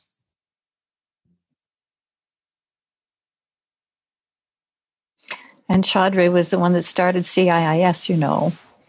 That's where I got my PhD. Was and so we studied him while while I was there. I think believe he was sent by Aurobindo to start that school. So, yeah and the active and passive uh, that it, it's in many different kinds of texts but they've traced it back to the earliest of language and those are the first two kinds of of uh, verbal uh, expressions people have are are words for the static which is like a rock because it sits still and the active like the wind or like the water because it moves. And it's just very fascinating how many and most of the of the uh, languages that they have found or that they have invented all come from the active and passive, and there are very few languages that actually none that they've found that don't have active and passive parts to it. So, but I will I will look her up. She sounds she sounds wonderful. What's her name again? Just so I can. Judith Judith Tyberg. T Y B E R G. Thank you so much. And one uh, a bit of encouragement also I would say that this is a non-linear text and I keep hearing the second to the last chapter referred to and brought up and that is the Gnostic being in which he talks about Gnostic community and what the what the evolved communities will look like and I, I, I would say it's like it's not a linear progression to get to that second to the last chapter of the book, and it's okay to read the second to the last chapter if that's where your your attention is going. And I would say pick up any chapter out of context. Also, it's each chapter stands a stands alone is almost a complete work in and of itself. I mean, it does build over time, but anything can be can be looked at in that in this in in the life divine.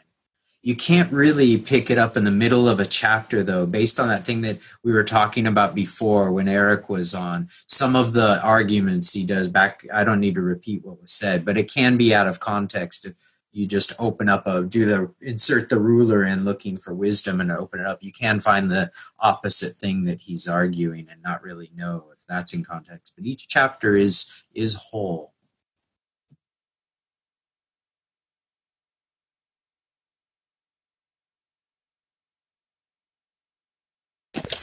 Well, I just would like to note in response to um, Terri's point about this being autobiographical. Of course, it's not written as an autobiography, literally, of the person, uh, but uh, there is a distinct uh, point uh, uh, in the phenomenology of reading, right?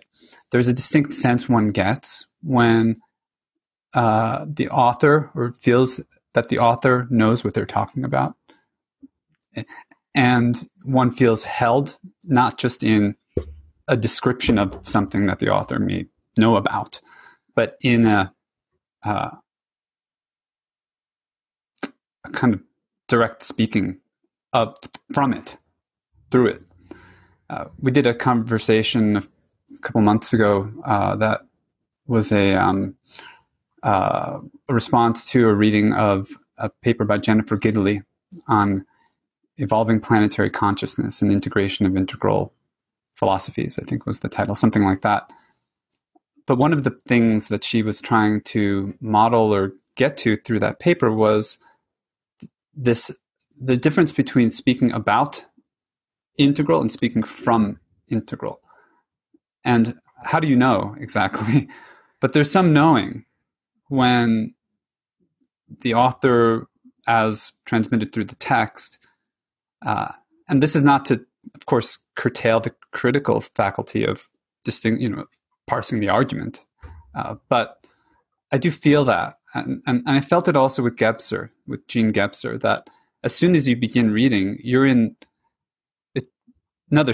You, you you you have a state experience. I think it, it, the, the the text itself ushers you into a state experience at least, if insofar as you can parse the text follow it, uh, of where the author was coming from in writing it, and I, I uh, love that. Uh, I, am excited by that because the the act of reading, the moment of reading, and then what stays with, and then what comes through in these conversations that we're having, I, I feel it um, it uh, it amplifies that that state. It, it sort of brings it into it, it strengthens it in a way. It strengthens our our access to it, perhaps one way of uh, putting it or thinking about it.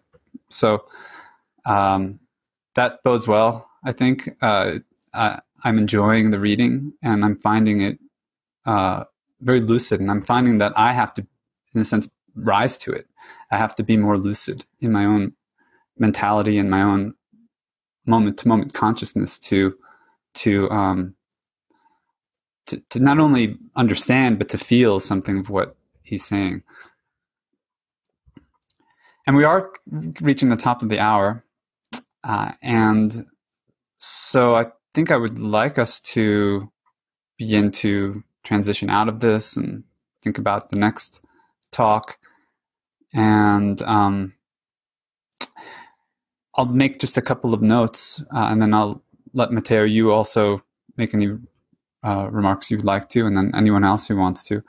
Uh, so logistically, this talk is recorded, and uh, as soon as the recording is processed, I'll be posting it to our forum on infiniteconversations.com. It will go on the same topic uh, that was dedicated to this particular event. So if there's something that arises, something that you meant to say or question or whatever may uh, arise uh, for you, you can share it there and the conversation can continue. And others who weren't able to be present with us here could also watch the video and participate uh, asynchronously. And and then out of that, you know, next I will also post an event for next week, and then the recording will go on that topic. So uh, you I welcome, invite you, and welcome you to uh, to participate there if if you uh, feel um, if if you'd like to do so. And um, I would like to see who might like to lead us next time uh, and uh, uh, pick up in the same format where we start with the meditation and and then uh, like as you did wonderfully, I think Matteo. Thank you so much. Uh, lead our conversation next time. Would would anybody here like to uh, step up to that?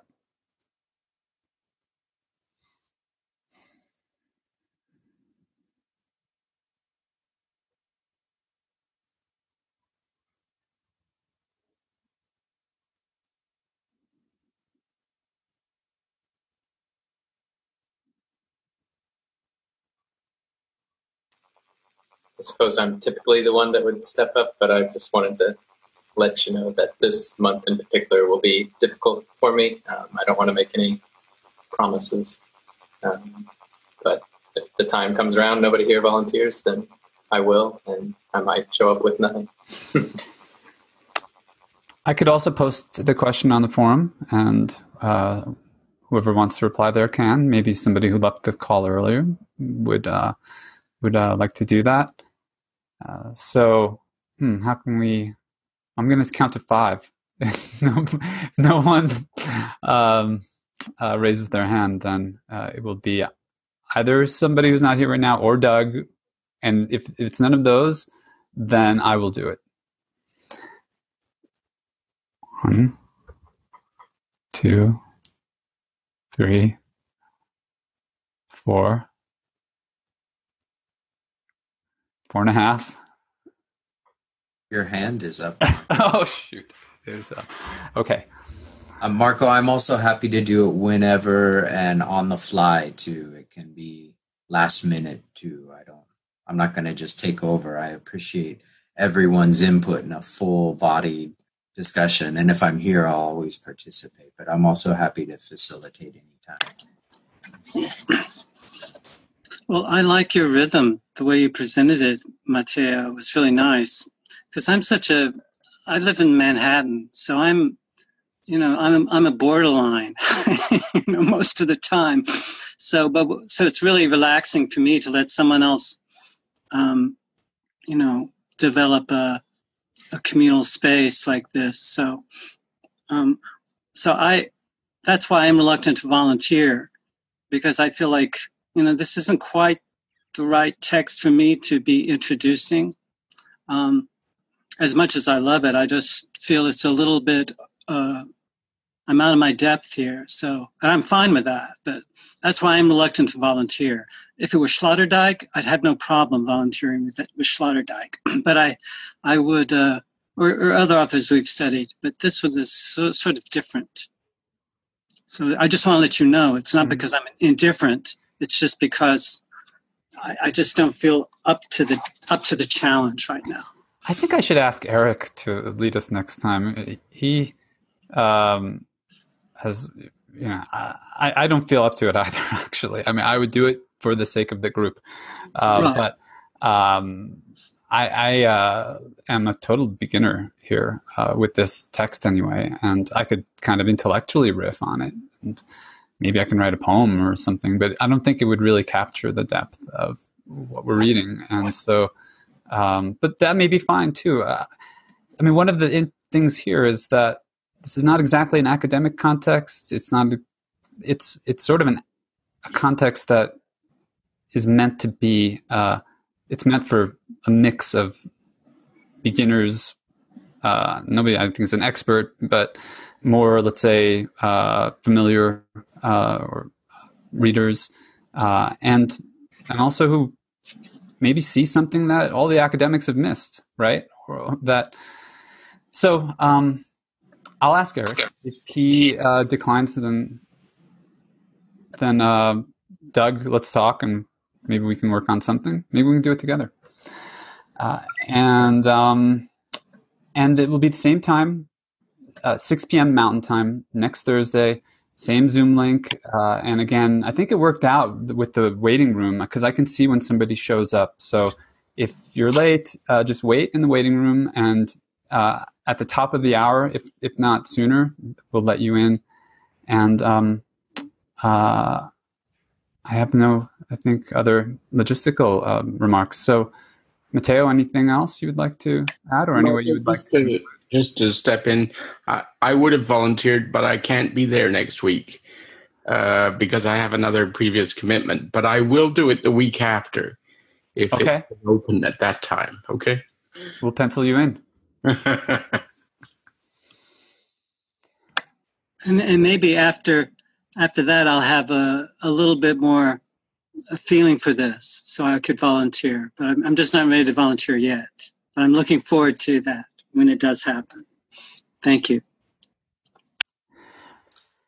You know, one more thing I'll add too is that uh, I I began doing these group calls partly to get over my shyness and nervousness around group calls and situations. Doug has said the same thing or similar thing. We talked about it. So, um, it is public in a, in, in a certain way, but uh, uh, you know, one, it also from a certain other perspective, maybe Aurobindo's perspective, whatever you say, however it comes out, is perfect in it. And so, uh, if we, I, I, think we can uh, allow, or maybe we can consciously create a space for that. And um, I'm sure it'll take some time to develop, but we have uh, a few months to work on this. So, um, if we're in, let's let's let's go all the way. I say, Supermind blessed.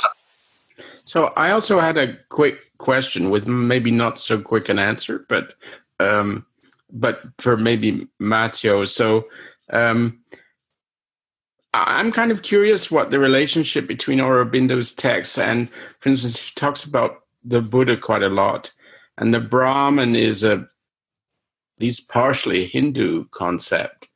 Uh, and and so I'm wondering what the relationship between Aurobindo's writings and some of the other religions are And I, I know it's a big question, but I thought maybe somebody or Matteo might you might have some reference text that you could refer that I could read a bit about it. So I'm just throwing that out. So much, Geoffrey. I, I don't know. the mother, Mira Alfassa, has these, this lovely, amazing book in 1958 called Commentaries on the Dhammapada that uh, has shows that she was a fully realized Buddhist at the time of arrival in India. Uh, there's there's so many because his synthesis of yoga. He's synthesizing Raja Yoga with Hatha Yoga. He's he's just synthesizing all the different uh, forms of yoga together into Purna, complete yoga that came to be known as integral yoga. Comes from the Sanskrit Purna. Uh, there's just yeah, we can talk about that offline. It's it's a vast question, Geoffrey. I, I want to say I've met people that kind of can position themselves as experts on Sri Aurobindo, and that's that's like completely laughable. Like everyone is interfacing this from their own field of expertise. Actually, every soul. Well, a beautiful thing about integral yoga is swabhava and swadharma, one's own essential self of being and one's own particular unique formation of dharma for being here and no, uh, I think anyone, uh, any sort of Sri Aurobindo exegete is really just uh, there. There's it's I don't know. It's a it's scholarship around Sri Aurobindo. Teaching Sri Aurobindo is a bit of a misnomer. So, and because of Swabhava and Swadharma, how can I tell you what your work is in this world and how to interface with this text and what your soul uh, what your soul's path is. It's it's unique for all of us. So it's uh, I, I would I think anyone here is perfectly uh, facilitating this is just uh, I think opening it up and kind of holding the holding the container. There's um, I don't I do I'm certainly not qualified to to to facilitate this any in any sort of academic way. And I appreciate Eric's style, and Eric's a scholar and approaches it from a scholastic perspective, and I appreciate that also. That's not that's his approach. And, um, but it's not like that approach is of any higher order than someone that's just looking uh, to approach it from a pure experiential point. And sometimes there's friction between those two, and maybe that friction's a good thing. Can I respond to, to that, Matteo? Because I'm reading uh, Aurobindo, the the future poetry. Oh yeah, and, beautiful. Yeah. yeah. and I think many of us are, are writers and are, are write poetry or love poetry, and um, I think as I've read I read this about half of it, the Aurobindo on Shakespeare and Keats and Shelley, you know, it's a it's territory that I'm very familiar with. So when I hear him talking about these uh, these poets, he it's very easy for me to enter into his his world um, because that, we share this world. He was a Westerner in some ways. He was raised in Britain and he spoke English before he spoke uh, uh, other languages. So I find this a real compatible entry, and I think that's a, a way that I, I think I like to read this. is just like poetry, and just let go of all the the, the, the foreign words and trying to penetrate, um, you know, those uh, kind of Sanskrit terms. And as fascinating as that is, and there's plenty of material. I mean, I'm looking at this guy Banerji, and I think we've shared some of his videos online. Um, Banerji, he's his uh, quartet, uh, seven quartets of becoming. He's written this about um, the record of yoga, um, which is a record of uh, it's a, a, diary that Aurobindo kept of his paranormal experiences and his his paranormal experiments, um, telepathy and remote viewing and all kinds of things that he was uh, he was cultivating.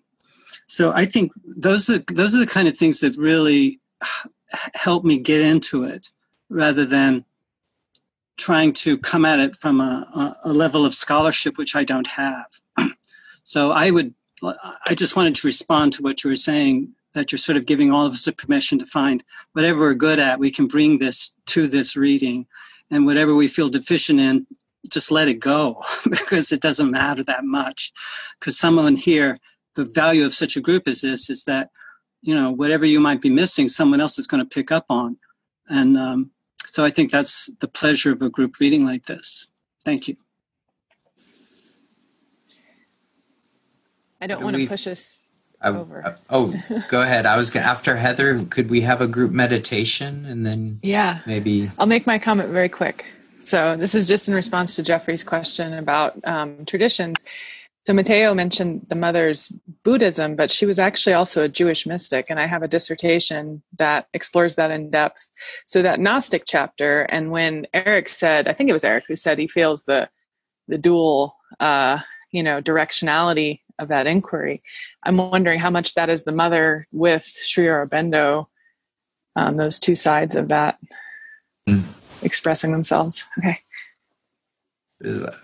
I could probably say a lot. The, the- all this stuff came about when the mother came to India. All of this is a fusion of their consciousness. The record of yoga that Debashish writes about in the seven quartets of quartets of becoming, actually all that stuff predates and came out predates the mother's landing in in, uh, in India and Pondicherry. So I would I would say all of this writing is a fusion of the mother's consciousness. They fused their consciousness, and I don't want to keep going. I could kind of go on about that for a long time, but we'll, we have plenty of time to to chat.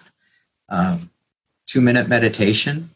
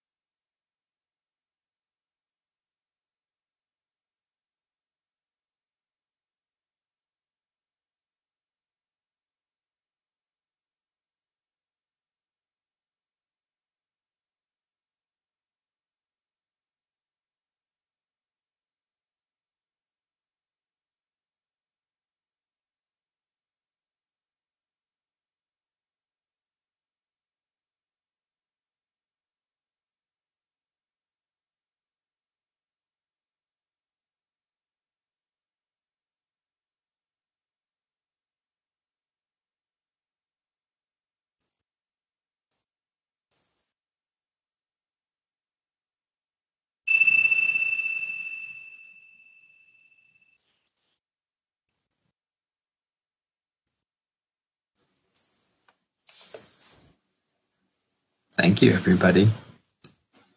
Lovely. Au revoir. Nice to meet everyone. It's new. Thank you. Thank you. Thank, Thank you you. so much.